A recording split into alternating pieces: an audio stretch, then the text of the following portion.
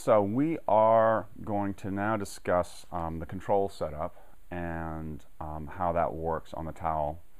Um, what I've done is taken the deck that we built before and attached it. And this is attached in the same way we attach these servos and the, the RC components. Um, and there's just zip ties holding it down. I've used four. If you can add, you can put an extra set here if you want. Um, just punch through um, the coroplast in the foam and then back around and, and zip tied down. Um, the plans indicate where to put the cutouts for the prop and um, you want to align this nice and straight. The prop shaft needs to be going straight back. This can be a little bit askance. It's not a big deal, um, but the prop shaft does need to go straight back. All right? Um, doesn't need to be super precise, but it just helps um, to get it as close as you can get it.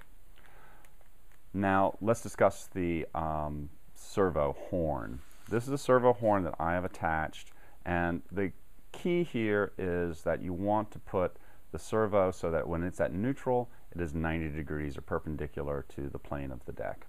So I'm going to start up the radio, make sure the throttle is down, and then I will turn it on. We've already bound this throttle down.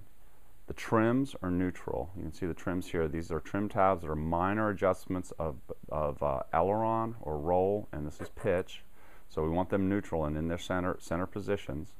And then we're going to turn the airplane on, plug it in, and we are now at neutral position.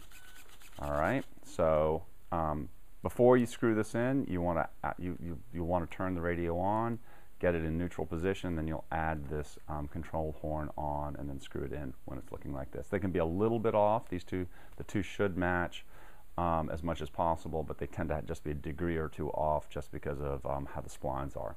These can be a little difficult to put on. You just kind of have to keep at it. Um, eventually it'll fit. Notice that I have drilled um, a hole in the control horn to accommodate the size of the coat hanger control rod. And um, for beginners, I would suggest you drill it a little lower, a little closer to the, um, to the spindle here so that maybe I'm halfway down the second hole up or something like that, you can always make it um, higher later, which will result in a more responsive aircraft. You're going to bend the control rod um, in this fashion. It's a U-bend at this end using a coat hanger. We put it in a little kink here. This is going to allow us to adjust the trim um, mechanically. So if we don't like what the surfaces are, we can just sort of bend this a little bit with a pair of pliers and get either more length or less length um, depending on what the trim needs to be. And then finally it ends in a 90 degree bend like this, which is going to um, be how we attach it to the elevon. All right, and the elevon is here with the control horn attached. So I'm just going to attach this one now. Um, so we put that through here.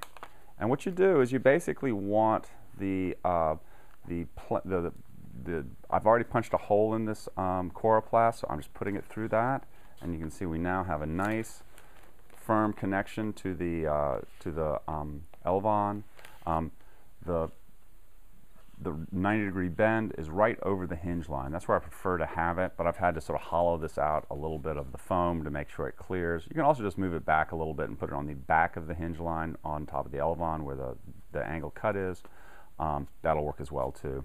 Um, just make sure these are even because we want both of them to move up about the same amount. All right. If you have these at different levels um, um back and forth on the elevons, they'll move different amounts and it'll be quite annoying. So there we have two connected elevons and they do very well.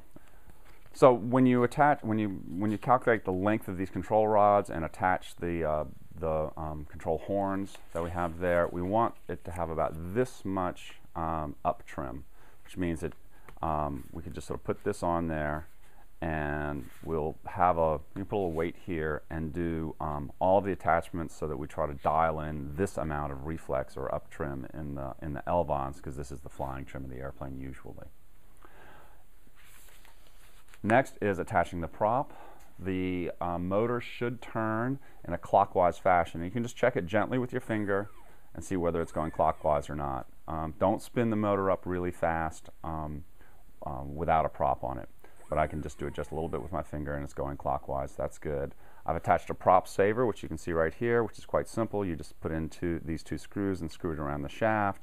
And then you have um, uh, and then um, make sure that you have the right size collet to the front because that is that one of them fits this quite nicely and the other one's too big. Um, so you just slip that on. Um, additionally, you want to have the writing on this prop. There's a little bit of raised writing on one of the blades. You want that going forward. All right. And then we take the prop, say, a rubber band or an O-ring. You can just use a regular rubber band for this as well if these break. Um, and you just take this and you wrap it around. It's a little bit tight at first. You may need to stretch it a little bit to get it going. And then we now have an attached prop. And basically, I'm ready to work with the airplane. All right?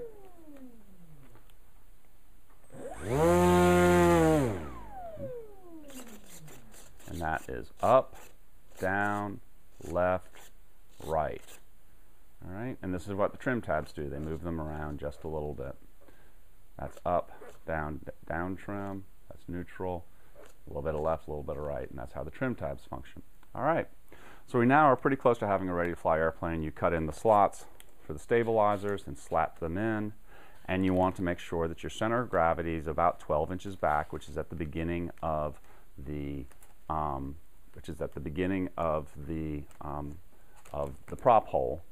So the center of gravity will be um, at the front of the prop cutout, and you want it to be either out here or a little forward. More, probably a half an inch to an inch in front is not a problem. You control that by adjusting what the, where the battery is placed. Um, and do this before you go out the door to make you know to fly so that you you know take care of any difficulties in the shop. If you have to add some weight to the nose or to the to the, the rear, you can do that, but you shouldn't. These are designed to come out at the right weight. And um, there we go. Um, this one is this is balancing about right there. I don't have the stabilizers on, so it's a little bit more forward, but there you go. And that's how you sort of basically check it. All right.